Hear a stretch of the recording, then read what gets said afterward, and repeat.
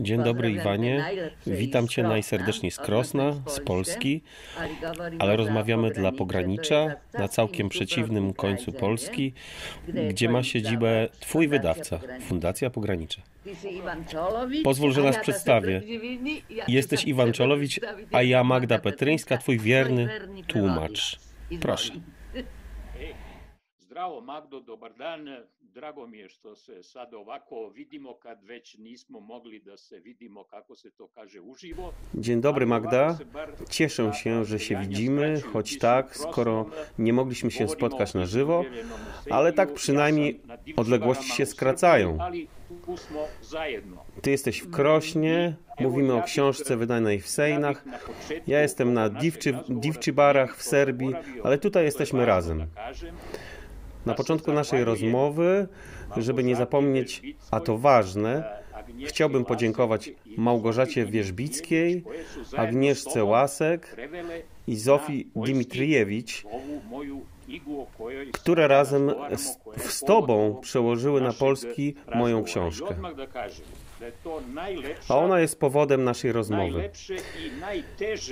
I od razu powiem, że to najładniejsze i najcięższe nie do czytania, tylko do noszenia wydanie,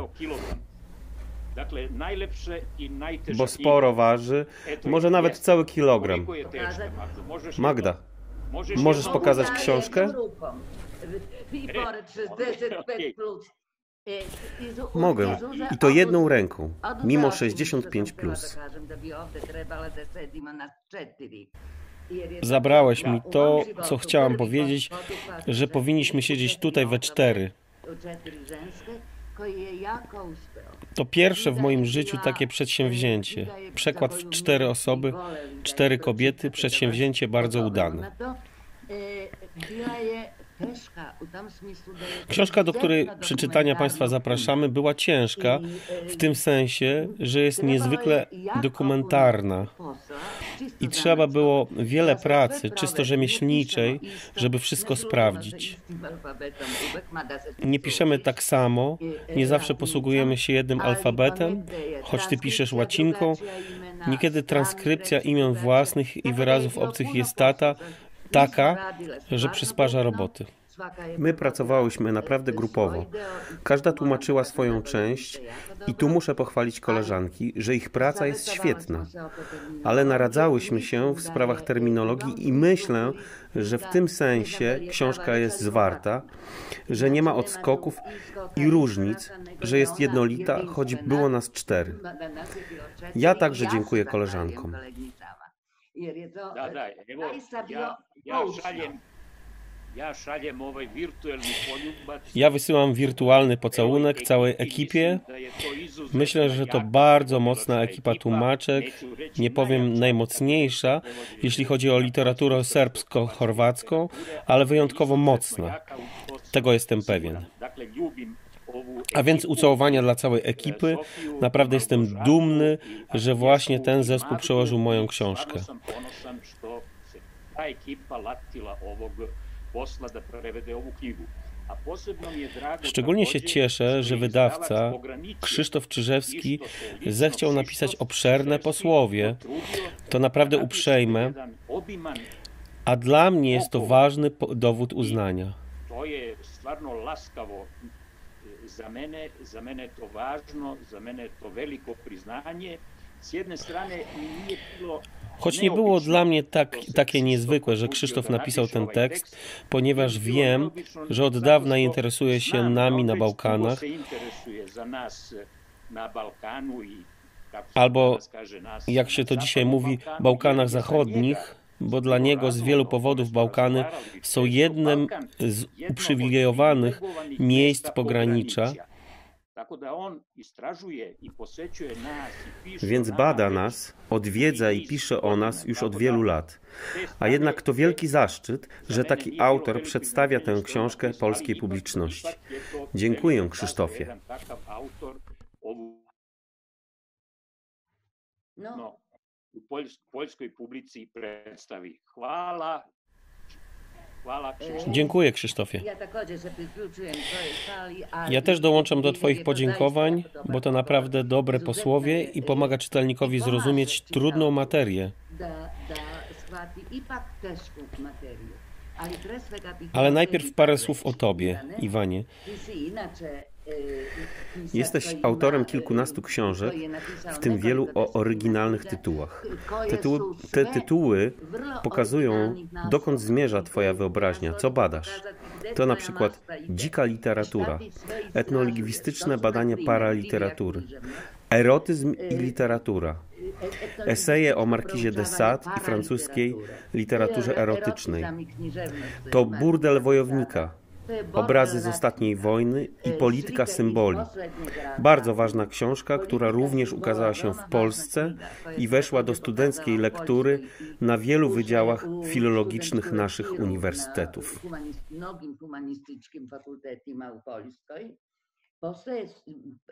Također etno o muzici sveta i knjiga koja je bila prvi put objavljena u Poljskoj. Wspomnijmy także etno o muzyce świata i Bałkany, terror kultury. Książka, która pokazała się najpierw w Polsce, a później w Serbii. Jesteś więc w Polsce znany. Te tytuły pokazują, czym się zajmujesz, że interesuje Cię nie tylko literatura wysoka, nie tylko symbol, nie tylko mit, nie tylko polityka i rola wszystkich tych czynników w polityce, ale i paraliteratura, i etno, i fusion, i przede wszystkim pop. Że jesteś wszechstronny. Oczywu- oczywiście nie mówię tego do Ciebie, Iwanie. Wybacz formę, ale Ciebie widzę. Po prostu chcę, żeby czytelnicy wiedzieli, z kim mają do czynienia. Piszę też, o, pisze o tym też Krzysztof w posłowiu. Jesteś także wydawcą. Stworzyłeś serię Biblioteka XX wieku, najpierw ukazującą się w wydawnictwie państwowym, a potem prywatnie, którą wydajesz do dziś. Jest to szeroko rozumiana humanistyka. Jej profil przypomina naszą Bibliotekę Myśli Współczesnej. A przede wszystkim jesteś doktorem honoris causa Uniwersytetu Warszawskiego, członkiem zagranicznej Polskiej Akademii Umiejętności w Krakowie, kawalerem francuskiej Legii Honorowej, laureatem Nagrody Herdera.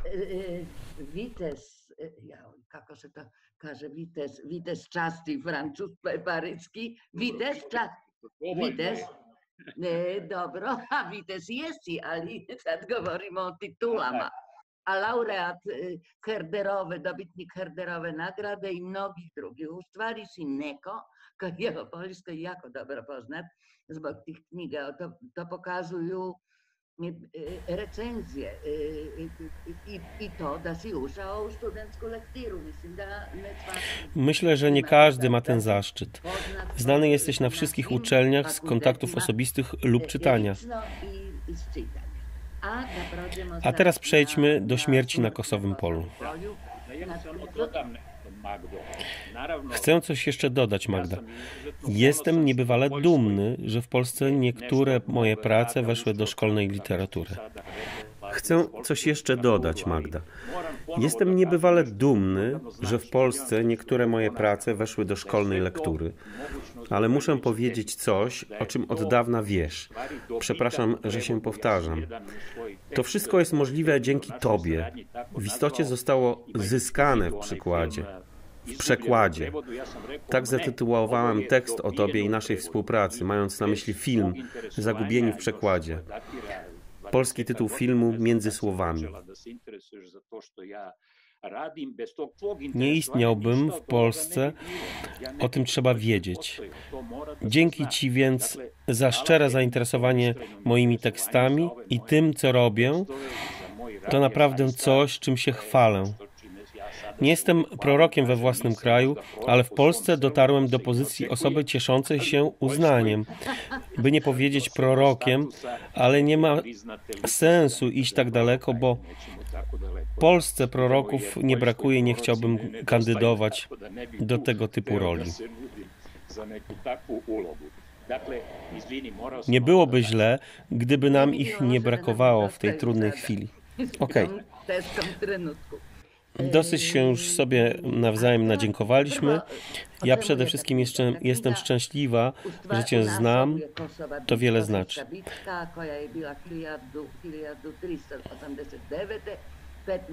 Po pierwsze, o czym jest ta książka? W tytule jest Kosowska Bitwa, która odbyła się w 1389 roku, 15 albo 28 czerwca. Zależy według jakiego kalendarza, w której walczyli serbscy i inni bałkańscy rycerze. Nie wiadomo z całą pewnością, czy wygrali, czy przegrali, ale oni w swojej tradycji, w swojej pamięci sławią Kosowo jako bitwę przegraną. I tu się świetnie zgadzamy, bo i my doskonale umiemy sławić, pamiętać i być dumni z trudnych i przegranych wydarzeń historycznych.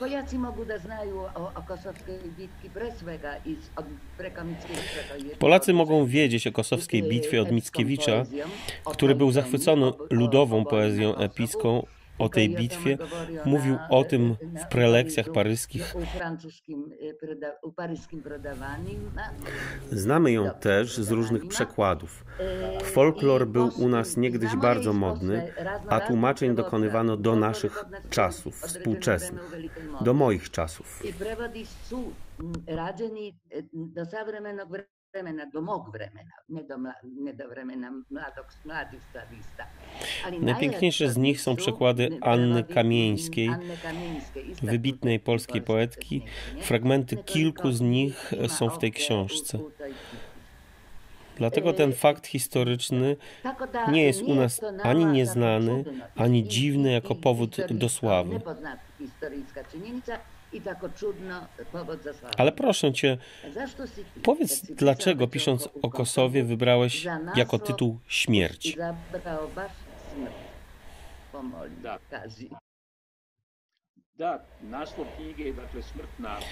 Tak, tytuł książki brzmi Śmierć na Kosowym Polu. Dlaczego śmierć? Po prostu ten tytuł się narzucał, bo opowieść o bitwie na Kosowym Polu a także mit, który później powstał na jej podstawie, mówi przede wszystkim o ciągu zabójstw, ciągu śmierci. Więc kosowski mit jest prawdziwym katalogiem albo serią interesujących i ważnych morderstw, zabójstw. Najpierw został zabity sułtan Murat. Sultan Murat Sultana Murada zabił rycerz Miloš Obilić. Albańczycy powiedzieliby Miłosz Kobilić. Potem wojownicy Murada zabili Milosza. Później przyszła kolej na księcia Lazara, Polok i on, ponieważ jednym z głównych tematów mitu kosowskiego jest wybór księcia Lazara. Matka Boska każe mu wybierać między Królestwem Ziemskim, które trwa krótko, czyli czy chce zwyciężyć na Kosowie, czy też woli przegrać tę bitwę, to znaczy stracić Królestwo Ziemskie, za co proponuje mu Królestwo Niebieskie, które jest na zawsze, dożywotnie, o wiele lepsze od z religijnego punktu widzenia niż ziemskie. I Lazar opowiedział się za śmiercią. Potem, kiedy doszło do bitwy, zginęli wszyscy ważni bohaterowie z, Kosow z kosowskiej, a także tureckiej strony.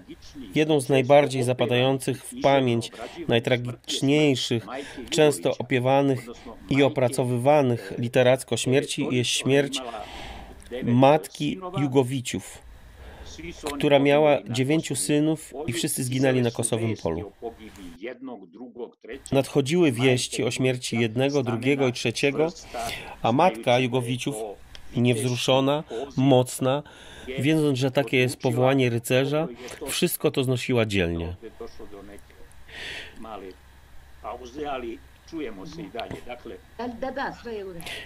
Wieści o śmierci dziewiątego syna nie mogła już wytrzymać i umarła. Ten ciąg śmierci sprawił, że w pewnej chwili chciałem nazwać książkę zabójstwa na Kosowym Polu. Nie tylko śmierć. Byłaby to aluzja do angielskiego serialu Morderstwa w Midsommar. Myślałem nawet o tym, żeby dać podtytuł Forensyczna historia badania mitu kosowskiego. Dlaczego? To był nie tylko żart, bo coś z tego zostało w książce. Nie chciałem bowiem zredukować książki do serii utrzymanych w stylu naukowym rozdziałów, lecz napisać coś, co można uznać za esej, coś, co można uważać za w różny sposób aktualne dziś.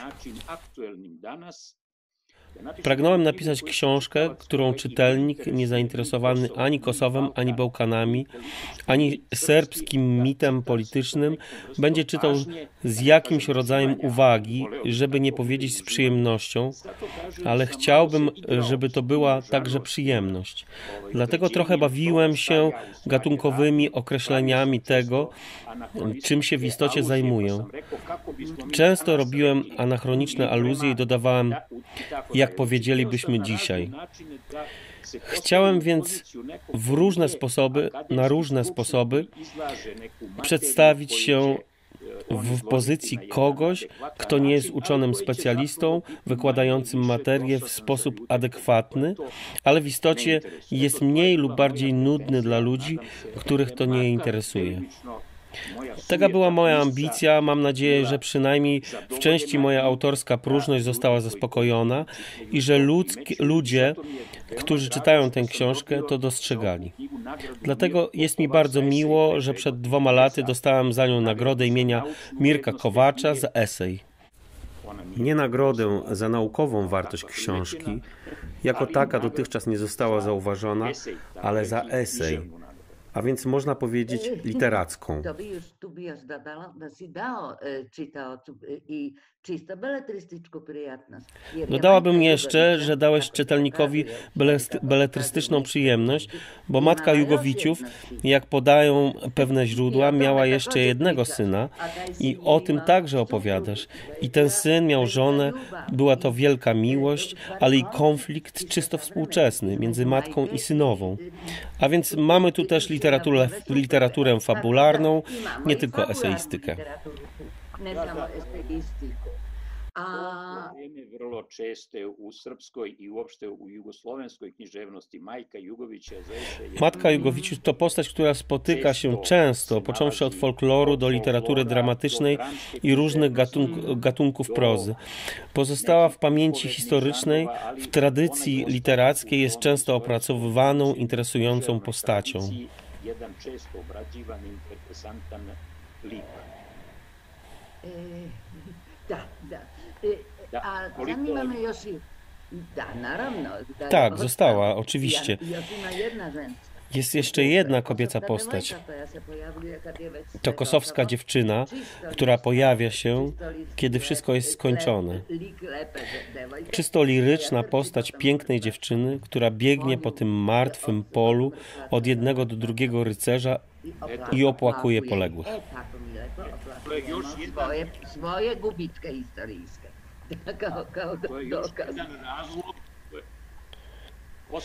Kosowska dziewczyna to jeszcze jeden powód przemawiający za tym, by zatytułować książkę Śmierć na Kosowym Polu, bo to tragiczna postać. Dziewczyna, dziewczyna idzie z dzbanem wina i rozgląda się, patrzy na pole, na którym leżą ranni i polegli kosowscy bohaterowie. To naprawdę śmierć na kosowym polu. A na, na. To Teraz, kiedy się to słyszy przy guslach, które przypominają nasze gęśliki, jedno albo dwustru, dru, dwustrunowe skrzypki i mają absolutnie kozi głos, a kozim głosem śpiewa też bajarz w dwóch, trzech nutach. Jest to rzeczywiście nieprawdopodobne. Rzeczywiście Mickiewicz miał się czym zachwycać. To folklor bardzo ludowy i żywy. Interesuje mnie jeszcze jedno. Symbole i mity zawsze były dla ciebie ważne. I w nauce, i jako eseistyczny temat, i również jako tema. temat polityczny. E, to także bardzo ważne, e, dlaczego w Polsce tak, bardzo, tak dobrze jesteś rozumiany. e, Twoje dwie, w jakiś sposób polityczne książki, Polityka symboli i Bałkany. Przecież dlatego, że nasi czytają cię, jakbyś pisał o nas, e, bo niestety te złe rzeczy, jak wzrost nacjonalizmu i cała reszta, bardzo podobnie przebiegają u nas i u was. Ale wróćmy do Kosowego Pola. Do E, książki o Kosowym Polu.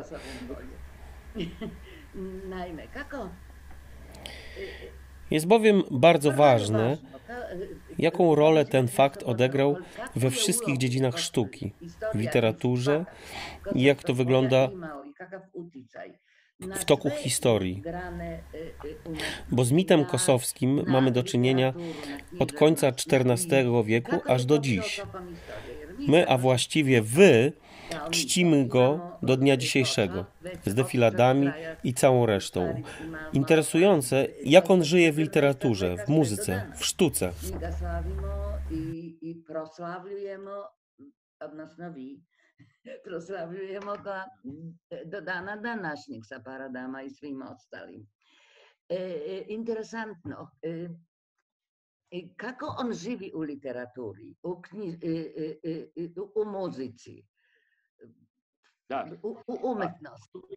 To je, tema koja zaista već dugo živi, kao što si ti rekla. I Jest to temat, który naprawdę długo już żyje i w sztuce, i w piśmiennictwie religijnym, i w dziennikarstwie, i w literaturze. A więc Od początku ma swoje, że tak powiem, miejsce, czy- bo w różnych miejscach pamięć Kosowa mniej lub bardziej żywo podtrzymywano i komentowano. živo pratilo i komentarisalo. Važnu ulogu je recimo u prvim e, vekovima, znači u 15. i 16. veku imala Dubrovačka književnost. Važnu Ważną rolę w pierwszych wiekach, to znaczy XV i XVI, miała literatura dubrownicka. Ważną rolę w pielęgnowaniu pamięci bitwy kosowskiej miał Orbini i jego Królestwo Słowian, veliko poglavlje posvetio w którym duży rozdział poświęcił temu, co w owym czasie wiedziano o bitwie kosowskiej w literaturze dubrownickiej i kulturze łacińskiej. Dugo od 1600. godine kad je il Regno degli Slavi izišla na italijanskom, Długo więc, 17., bo od 18. 1600 wek su se roku, kiedy Reni dei Slavi się ukazało po włosku, do dzisiaj, a więc w wiekach XVII, XVIII i XIX opierano się na tym zbiorze, tej chrestomatii, katalogu motywów, bohaterów i wydarzeń, jaki ta książka proponowała wykształconym ludziom owych czasów, zwłaszcza tym, którzy znali włoski i łacinę. A więc 19. literatura se, grała decydującą rolę aż do XIX wieku, kiedy, jak powiada mit Popowicz, jeden z wybitnych badaczy kosowskiego mitu, mit ten wrócił z zachodu, z literatury dubrownickiej i innych, na Bałkany, to jest na wschód. I kiedy 19. Wuk Karadzić 1815. już od początku XIX wieku, w epskih pesama, među njima i 1815-1816 fragmente roku, wydał pierwszy zbiór pieśni epickich, a wśród nich fragmenty i całe pieśni o bitwie na Kosowym Polu. I to jest boju moment, kiedy Bitwa kosowska, poezja o niej pojawia się jako ważna karta w historii literatury romantyzmu. Nie tylko romantycznego nacjonalizmu i sztuki romantycznej w Serbii i na Bałkanach, ale i w Europie. Wkrótce bowiem po Beču i poznavao je milje literarni i filozofski tog vremena i mnogi uvaženi i značajni pisci, filolozi i književnici koji su tragali za onim što se tada zvalo duh naroda ili narodna duša, su sa zadovoljstvom primili zbirku pesama u kojoj se navodno pojavljuju svedočanstva o tome kako funkcioniše jedna narodna duša na Balkanu, kako jedan narod funkcioniše, kako on u svom usmenom predanju čuva jednu ważną historię, ceo jeden I z zachwytem przyjęli to Goethe, Herder i pozostali romantyczni filologowie i pisarze. Tu wracamy do Mickiewicza i czasów wielkiego zainteresowania tego rodzaju folklorem. Potem jednak mit rozwijał się niezależnie od swoich epickich odgałęzień, od gatunków epickich i obok współczesnych gęśli, które ty znasz i o nich wspomniałaś, wciąż jest jednak jednym z mediów, które strzegą pamięci o Bitwie Kosowskiej. O wiele ważniejszy jednak jest wkład pisarzy i artystów nie tylko w Serbii, ale na całych Bałkanach. W tej książce chciałam pokazać przede wszystkim coś, o czym trochę wiedzieliśmy, ale zwracaliśmy na to zbyt mało uwagi a mianowicie, że kosowski mit jest nie tylko serbski, że to mit, że to mit iliryjski, jugosłowiański, chorwacki, bośniacki i o czym wiedziano jeszcze mniej, mit albański. I moja książka, jeśli jest z jakiegoś powodu ważna, to dlatego, że przed nią nie istniała kompletna historia mitu kosowskiego, ukazująca wszystkie jego wersje w różnych językach, łącznie z albańskim oraz na przykład, oraz na przykład wkład Ismaila Kadare do pielęgnowania i politycznego używania dzisiaj mitu kosowskiego wśród Albańczyków. Zatrzymajmy się tutaj, bo zajdziemy za daleko. W związku z tym nie jest to pewne, i zawsze wiodą o to spór przedstawiciele narodów bałkańskich z mocną tożsamością narodową. Kto był, a kto nie był na Kosowie? Czy byli tam Chorwaci, czy byli Bośniacy, o Albańczykach nie wspominając? Kto tam naprawdę był i czyja to klęska w istocie zwycięstwo, bo to jest fundament odwagi, rycerskości i wielkości narodu.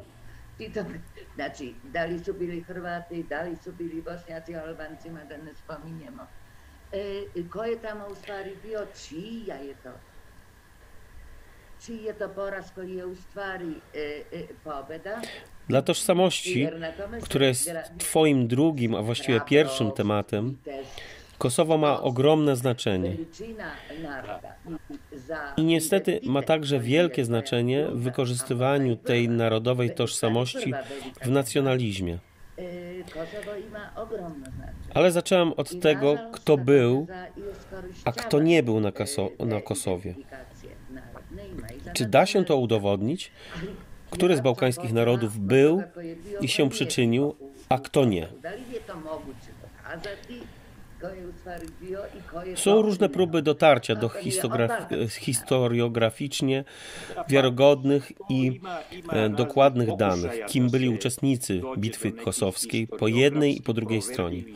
W większości jest to zgadywanie albo dokumenty prawdziwe, tylko w, tylko w części to też Poważni badacze historii średniowiecznej i bitwy kosowskiej doszli do wniosku, że im bardziej nauka zajmuje się badaniem i sprawdzaniem źródeł historycznych, tym mniej mamy pewnych informacji. Dawniej myślano, że wiele się wie, dziś natomiast różni poważni naukowcy są zgodni, że bitwa naprawdę odbyła się tego, a tego dnia, że naprawdę walczyli po jednej stronie sułtan Murat, a po drugiej chrześcijańskie wojsko skupione wokół księcia Lazara, że obydwaj dowódcy, i sułtan, i książę zginęli. Kneza Lazara, da su oba komandanta i oba i sultan i knez poginuli, da je Murat ubijen, kako to se ne zna, da je u jedan, jedna jedinica kralja, tvrtka prvog, kojom je komandovao izvesni że Murat został zabity, nie wiadomo jak, że jeden oddział bośniackiego króla Twyrtka I, którym dowodził jego oficer, był na Kosowie i to właściwie wszystko. Cała reszta została dodana później. Ale kluczowe dla dzisiejszego ich historiograficznego i w ogóle poważnego naukowego podejścia do tego tematu było przejście od badania źródeł historycznych i odsiewania wszystkiego, co pozbawione jest historycznych podstaw, do stwierdzenia, że wszystkie opowieści o tej bitwie, choćby wymyślone, zupełnie pozbawione podstaw, zasługują na naszą uwagę, ponieważ ta tradycja, te opowieści, wymyślone lub połowie wymyślone, są świadectwem czegoś, co mówi nam o tamtych czasach, o końcu XIV wieku, ale też o następnych wiekach, o tym, jak ludzie czuli, jak rozumieli i historyczną bitwę i bohaterstwo, jakie wartości były tu w grze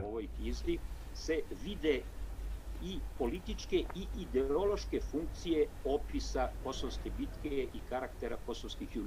Od samego bowiem początku, co próbowałem wyjaśnić w mojej książce, widać i polityczne, i ideologiczne funkcje opisu bitwy na Kosowym Polu oraz charakteru kosowskich bohaterów. Aż do początku XIX wieku dominuje średniowieczny system wartości, czyli kodeks rycerski, wierność Panu, dziesięcioleciach XIX wieku. Mniej więcej w jego połowie zaczyna się pojawiać inny system wartości, w czasach nacjonalizmu. Wtedy kosowscy bohaterowie przestają walczyć o swojego Pana i honor oręża i walczą o naród. Na podstawie niektórych tekstów o bitwie kosowskiej, dramatu Matii Bana, zobaczyłem, jak z jednego planu przechodzi się na drugi plan. Jak z jednej tradycji i całego średniowiecznego ideologicznego systemu wartości przechodzi się do innego, gdzie naród, nacja, duch narodu, o którym już wspomnieliśmy, są na pierwszym planie. Naród, nacja, duch naroda, koji smo već pomenuli u prvom i kosowscy bohaterowie nie walczą już ani w imię Boga, ani władcy, ani o swój honor, tylko o naród. O to, co jest ważne. Wydaje się proste, ale w istocie nie jest.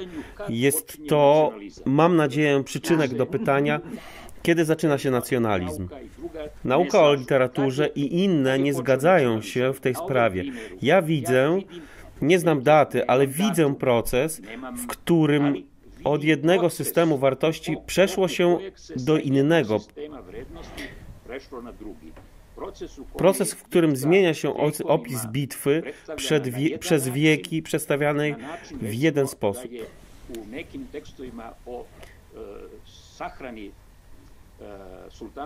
Na przykład pogrzeb sułtana Murada. Sułtan na łożu śmierci rozmawia z Miloszem Obiliciem, swoim zabójcą i z, księc, z księciem Lazarem, który stoi i czeka, żeby zabito i jego. Rozmawiają, się, rozmawiają o tym, jak mają być pochowani. Dochodzi do konsensusu i Murat mówi do swojego zabójcy. Ciebie najbardziej cenię, okazałeś wielką wierność swemu Panu i gdyby los chciał, abym przeżył ten zamach, na pewno wziąłbym cię na służbę. I nie jest to ironia, tylko pochwała bohatera. I wredności. A kiedy Murat chce pochować Milosza, swego zabójcę, obok siebie, a Lazara położyć z boku, Milosz buntuje się i mówi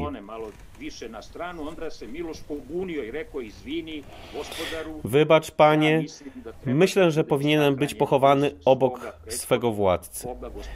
I zawierają umowę. Murat godzi się, żeby tak było. Widać więc na tym przykładzie, że system wartości był wspólny, że ta klasa, szlachta miała wspólny stosunek do wszystkiego, co się tam działo. se i I nie było żadnej różnicy ani w kluczu etnicznym, ani religijnym. Wręcz przeciwnie, istniała wspólnota oparta na jedności stanu rycerskiego, porządku feudalnego i opowiadającej mu, odpowiadającej mu feudalnej ideologii. I wszystko to trwa w wielu przykładach aż do czasów Filipa Wiśnicia, który w swojej pieśni Początek Powstania przeciw odszczepieńcom pokazuje sułtana w bardzo pozytywnej roli. Oto sułtan radzi swoim następcom, by nie prześladowali Serbów, tylko obchodzili się z nimi jak z równymi sobie. I dodaje, tak radzimy wam obaj z księciem Lazarem. To się zupełnie zmieniło. I teraz, kiedy czytam o tym, po prostu nie mogę się utożsamiać z takim stanowiskiem.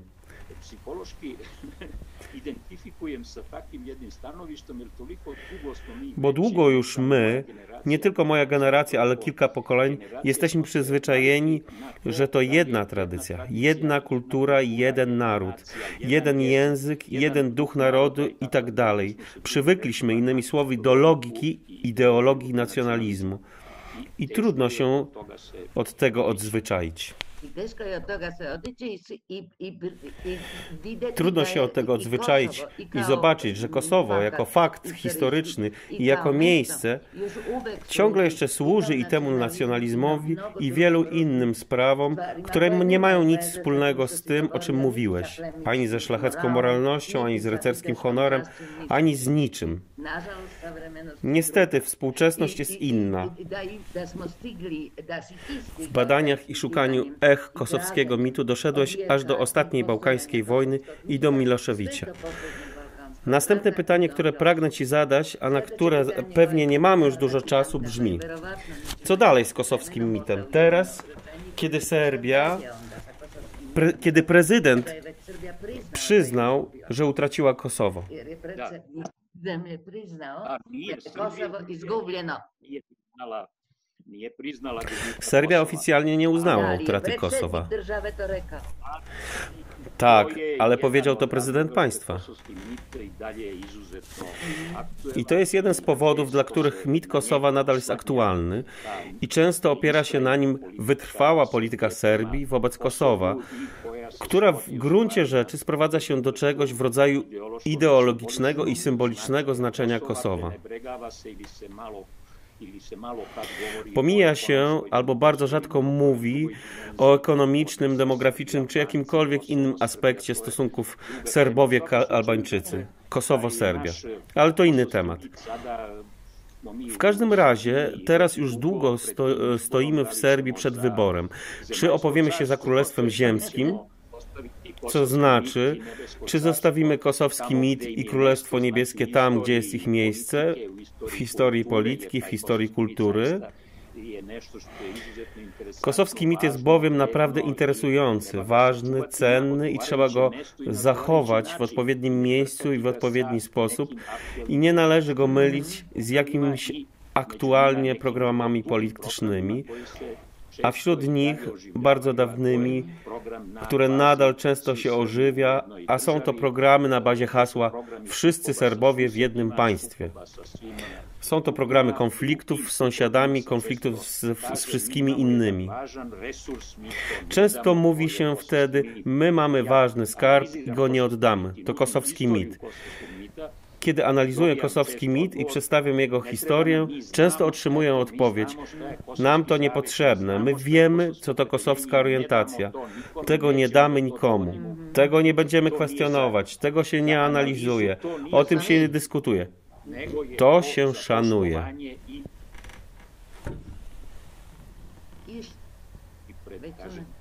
Izborom kome ćemo se opredeliti carstvu. Mislim da već su nas opomenuli da nam ističe vreme. Dzięki Ci wielkie. Kończy się nam czas i po naszej krótkiej rozmowie widzę dopiero teraz, ile tematów zostało nietkniętych. Ale może jest to zaproszenie do wszystkich czytelników i tych, którzy teraz mają więcej czasów, bo siedzą w domu, nasi rówieśnicy. Czytajcie naszą książkę. Iwan Czolowicz jest tego wart. Poziv, čitajte našu knjigu. Ivan Čolović to zavređuje. Hvala ti mnogo, Hvala. Ivane. Hvala, drži se No, hvala. u ono vružno vreme. Ti i tvoji.